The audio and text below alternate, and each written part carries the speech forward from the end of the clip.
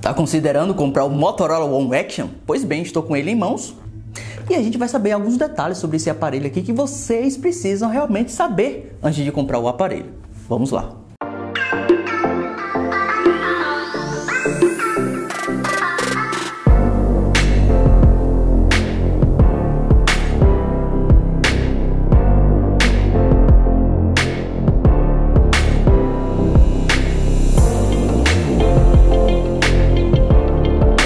Galera, tudo beleza? O Anderson Conceição aqui do canal Meu Smartphone. Como eu falei no início do vídeo, eu estou com Motorola One Action.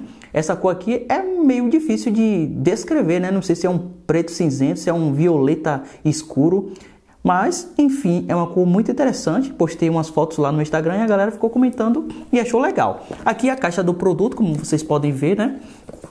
Só mostrar aqui rapidamente o que é que vem dentro da caixa. O que é que vem? O adaptador de carga, o cabo USB tipo C e o fone de ouvido, que é bem interessante, são fones de ouvido de ótima qualidade, que são exatamente o mesmo fone que vem no Motorola One Vision e na linha Moto G7 e Moto G7 Plus, enfim.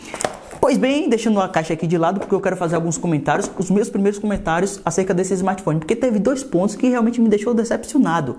Como tem muita gente me mandando mensagem no meu direct, considerando comprar o smartphone, eu acho que tem muita gente esperando esses comentários acerca desse smartphone. Eu realmente fiquei assim, esperançoso né, de ter o aparelho em mãos, porque esse negócio de action camera, câmera grande angular, chama muito a, a, minha atenção. Eu gosto muito desses recursos, porque eu pratico muita atividade física, eu pedalo muito, eu faço trilha, então eu gosto de celular com câmera wide angle. Aí essa ideia de action camera, eu falei, quero testar esse smartphone para ver como é a estabilidade, a captação de áudio, essas coisas todas. E aí fiz os meus primeiros testes, é por isso que eu não fiz o unboxing tradicional aqui, porque eu queria já fazer as primeiras configurações do aparelho, deixar ele prontinho para rechear os meus comentários acerca dele. Então, abri a câmera, né, que é o principal destaque do smartphone. Essa configuração de câmera tripla, inclusive, se você colocar o Motorola One Vision ao lado, vocês podem perceber que é exatamente o mesmo aparelho, é muito semelhante um com o outro. A única coisa que diferencia um do outro aqui é a questão do módulo de câmera, né? Enquanto um tem uma configuração tripla, o outro tem a configuração dupla. Na frente é igualzinho.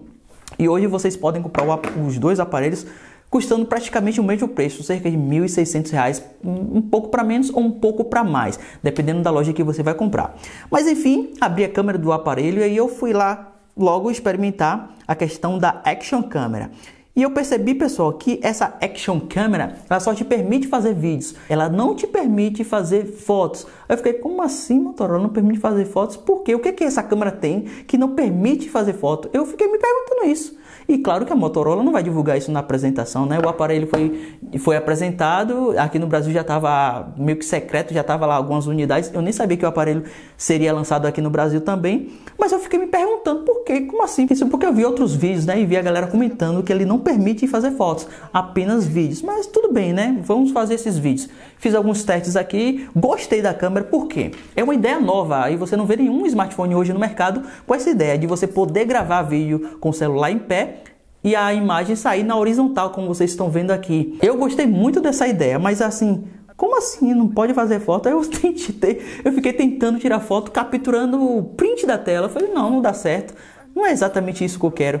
Mas assim, uma coisa que realmente me chamou muita atenção nessa câmera foi a estabilidade, a estabilidade eletrônica, que é realmente muito eficiente, realmente cumpre o que promete, mas esse negócio de não capturar fotos, eu, poxa, mano, como assim? Porque hoje, pessoal, você tira muito mais fotos do que captura vídeos. Você concorda comigo?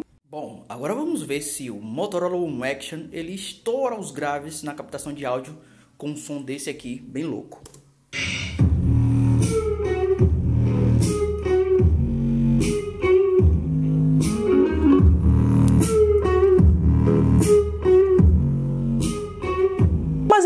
Bem, né? Aí eu fui para outro recurso, né? Porque eu fui procurar o modo noturno e não encontrei também. Não tem o modo noturno. Eu falei, como assim, Motorola? Por que esse aparelho não suporta o modo noturno se é um aparelho que tem as mesmas configurações de hardware do Motorola One Vision? Mas aí tem uma diferenciação na câmera principal, porque essa câmera principal desse aparelho não é exatamente a mesma câmera do One Vision. Mas ainda assim, isso não é motivo suficiente para não levar o modo noturno para um aparelho desse, porque a Motorola também prometeu levar um modo noturno para o Motorola Moto G7 Plus E até, até hoje eu estou esperando essa atualização com essa melhoria, né, com esse novo recurso.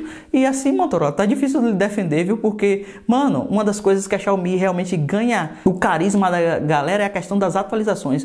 Lançou um recurso, a Xiaomi não demora de lançar os novos recursos para os seus aparelhos. Lança logo atualização. Toda hora tem uma atualização com correções. E a Motorola é difícil para lançar esses, esses, essas coisas. Quer dizer, até lança, mas é difícil. É difícil de chegar em, nesses aparelhos. E eu estou até hoje esperando o recurso no Motorola Moto G7 Plus. Então foi duas coisas, né? Porque eu já comecei o vídeo falando das câmeras do aparelho, que é o principal destaque dela, então por isso que eu já comecei falando das câmeras desse aparelho. Então esses dois pontos me deixam um pouco decepcionado com o aparelho, porque eu esperava um pouco mais. Eu falei, poxa, Motorola One Action vai chegar um pouco mais caro, vai vir com uma coisa bem interessante para a galera. Aí chegou à conclusão, porque a Motorola lançou dois aparelhos tão semelhantes, com apenas uma diferenciação em uma das câmeras, mano, tá eu não entendi muito esse lançamento não. Eu, realmente fiquei assim meio confuso.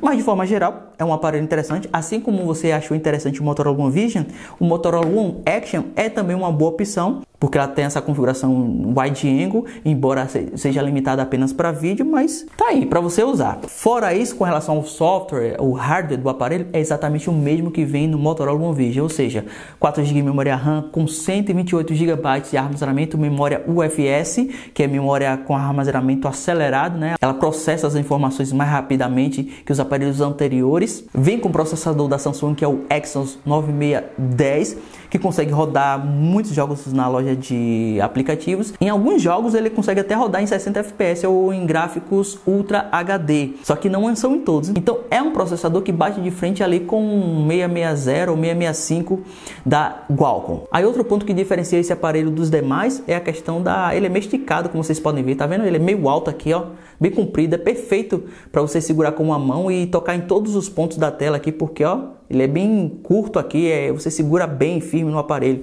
que ele é meio esticado, isso facilita o uso com uma mão só. Com relação ao software, ele vem com Android 9, né, Android, Android Pie, como ele é Android One, ele tende a receber pelo menos duas grandes atualizações do sistema. Isso significa que ele está listado para receber o Android 10. Aí a questão da bateria, ele também vem com a capacidade de bateria a mesma do Motorola One Vision, ou seja, 3.500 mAh com adaptador de carga rápida, o que é muito interessante. Mas esse adaptador não é comparado ao que vem no Moto G7 Plus de 27 watts. Esse aqui é o que vem de apenas 15 watts, então não recarrega tão rápido assim. Mas ainda assim é uma capacidade de bateria melhorada se comparada ao do Moto G7 Plus, que vem com apenas 3.000 mAh. E é isso, pessoal. Esses são os meus primeiros comentários acerca do Motorola One Action. Claro que eu vou experimentar ele aqui mais alguns dias, vou ficar aqui fuçando nele para tentar trazer uma análise mais aprofundada sobre o aparelho. Mas por enquanto é isso. Eu vou ficando por aqui, um grande abraço e até a próxima.